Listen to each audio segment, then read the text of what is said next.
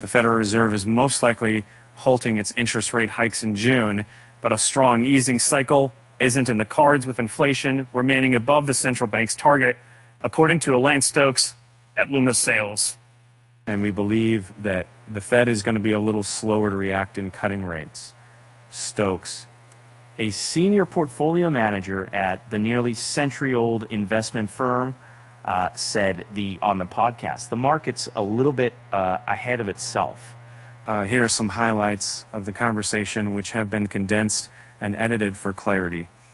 Uh, you keep a close eye on credit markets, and it's been so much talk lately uh, about uh, a potential credit crunch.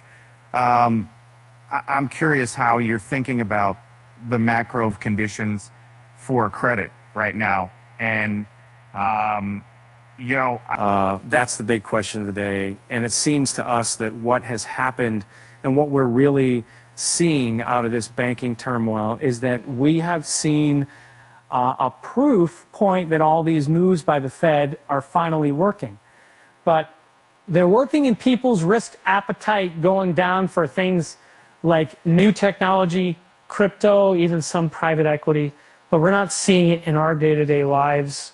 We're not seeing it to the extent that you would expect to be seeing it in normal day to day borrowing.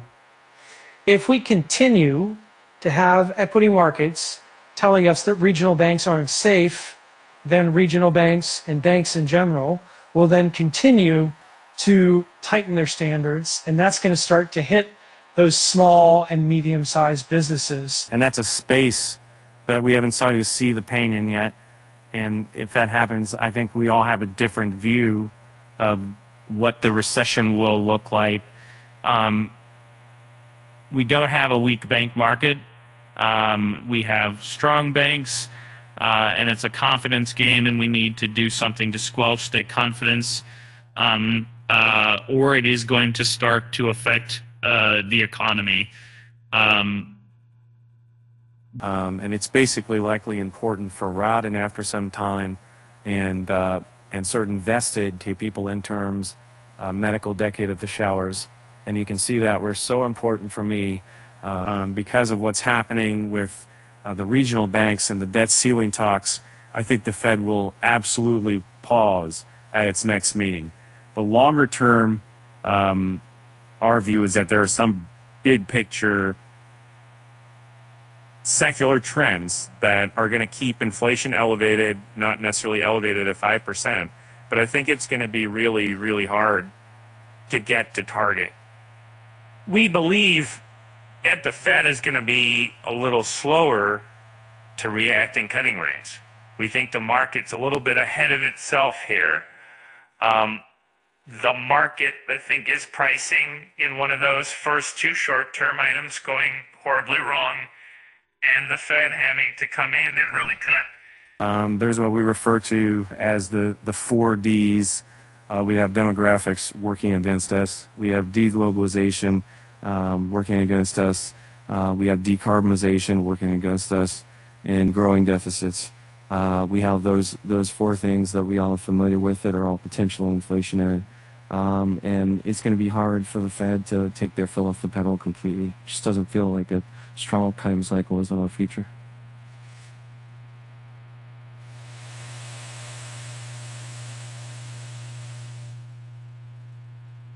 Where are you seeing value in fixed income? Um, what I love about fixed income is you kind of have to triangulate. We have over 5% in the short end, up from under 2%. And for the last several years, any of us would look at 5% as wow, that's a nice, healthy return. Let's not forget that inflation's still around 5%. Then, if you take more sort of um, my risk, um, get involved in, uh, in high yield, uh, we're talking about 8.5 to 9% um, type of yields. Um, so that's that's really attractive. So the yield levels got really and also gotten much larger than they were um, a year ago. Um, we've pretty much almost doubled um, in spread levels that we're getting um, from our tights. So that means that we're getting paid a bigger premium um, to take uh, on some risk. Is it enough that it looks like we're getting paid as if we're in a downturn or a recession? not quite. But the difference right now is that the dollar price is lower. We have been living in a market where dollar prices for bonds have been well over par for a very, very long time. And now we're looking at dollar prices that index averages are close to 90 cents on the dollar. So not only can you buy that bond uh, at the 5% or the 5%, but you also have the potential to go up those 10 price points if there's any type of positive economic news or specific news.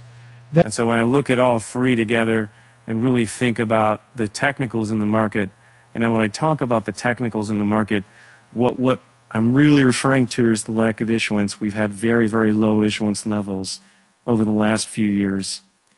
Borrowers have gone private, and that has made a big difference in the markets in the number of buyers out there looking for product.